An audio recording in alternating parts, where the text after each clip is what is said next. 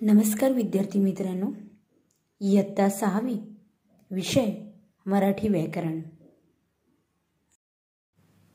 मराठी व्याकरणामध्ये आज आपण विरामचिन्हे शिकणार आहोत.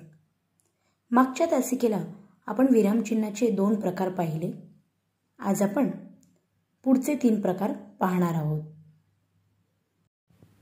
प्रश्नचिन्ह. जर वाक्यात प्रश्न विचारला गेला असेल तर वाक्याच्या शेवटी प्रश्नचिन्ह वापरले जाते. उदाहरणार्थ एक. तू काय करतोस? येथे काय हा प्रश्न विचारला आहे? म्हणून वाक्याच्या शेवटी प्रश्नचिन्ह दिलं गेलं आहे. कारण येथे वाक्यामध्ये प्रश्न विचारला आहे. म्हणून वाक्याच्या शेवटी प्रश्नचिन्ह दिलं आहे.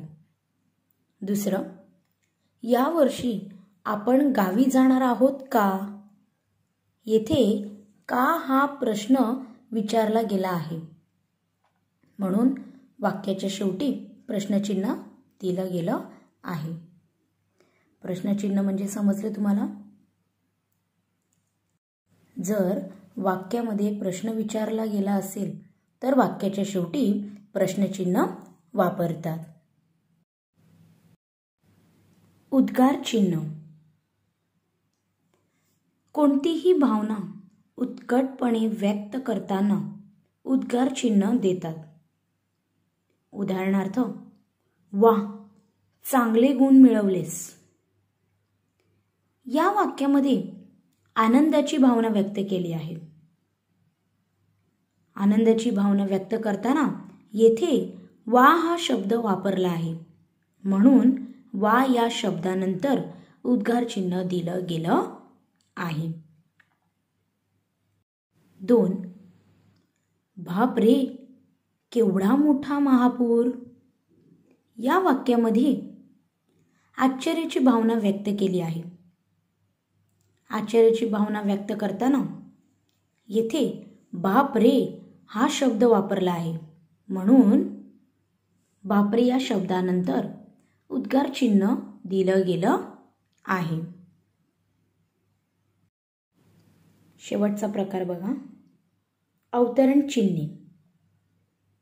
अवतरण चिन्हेमध्ये दोन प्रकार आहेत. एक एकेरी आणि दुसरं दुहेरी. प्रथम आपण एकेरी पाहूया. एकेरी अवतरण चिन्ह म्हणजे काय? एखाद्या शब्दावर किंवा शब्दसमूहावर जोर द्यायचा असेल तर एकेरी अवतरण चिन्ह देतात. उदाहरणार्थ पाणी हे संयोग आहे. या वाक्यामध्ये संयुग या शब्दावर जोर दिला गेला आहे. म्हणून तेथे एकेरी अवतरण चिन्ह वापरलं आहे. म्हणजेच एखाद्या शब्दावर जोर द्यायचा असेल तर या एकेरी अवतरण चिन्हांचा वापर केला जातो. अवतरण चिन्हेचा दुसरा प्रकार पहा. दुहेरी. दुहेरी अवतरण चिन्ह म्हणजे बोलणाऱ्याच्या तोंडचे शब्द दाखविण्यासाठी दुहेरी अवतरण चिन्हाचा वापर केला जातो. उदाहरणार्थ एक रमा म्हणाली मला आंबा हवा. आता येथे रमाच्या तोंडचे वाक्य आहे की मला आंबा हवा. त्यामुळे तिच्या तोंडचे वाक्य आपण दुहेरी अवतरण चिन्हात दिले आहे. म्हणजेच बोलणाऱ्याच्या तोंडचे शब्द दाखवण्यासाठी आपण दुहेरी अवतरण चिन्हाचा वापर करतो.